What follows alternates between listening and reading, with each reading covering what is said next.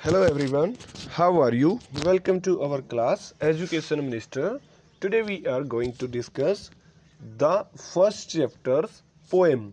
The name of this poem is The Squirrel.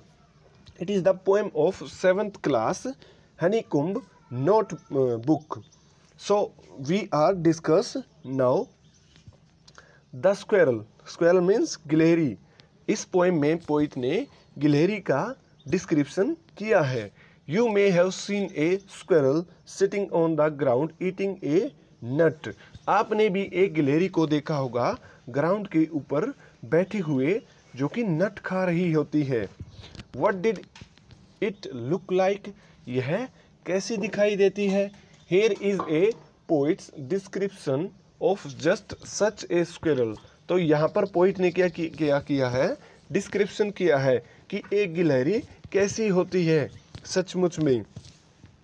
He wore a question mark for tail वह क्या करती है, अपनी टेल को क्वेश्चन मार्क की तरह बना लेती है। लेकिन एग्जैक्ट मीनिंग वह क्या he wore a question mark for tail वह क्वेश्चन मार्क को पहने हुए होती है अपनी टेल के लिए। तो फ्रेंड्स इसका मीनिंग क्या हुआ? उसने अपनी टेल को क्वेश्चन मार्क की शेप में बना रखा है। एन ओवरकोट ऑफ़ ग्रे मतलब ओवरकोट क्या होता है? ऊपर की तरफ़ पहने जाना वाला कोट। तो वो है, कैसा होता है उसका? ग्रे। तो सच में जो स्क्वेरल होती है, उसकी बॉडी का कलर क्या होता है? ग्रे कलर होता है। इसीलिए उसने क्या कहा उसको? ओवरकोट, ऊपर वाला coat.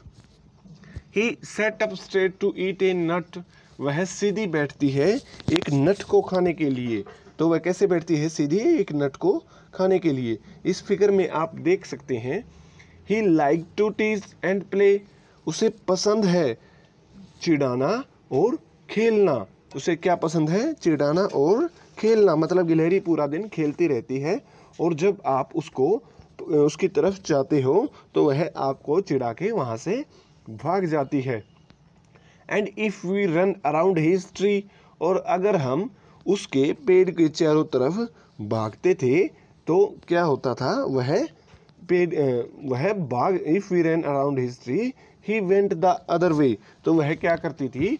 दूसरी तरफ़ भाग जाती थी। तो फ्रेंड्स इस पोइट को इस पोएम को पोइट ने पास्ट टेंस में डिस्क्राइब किया है।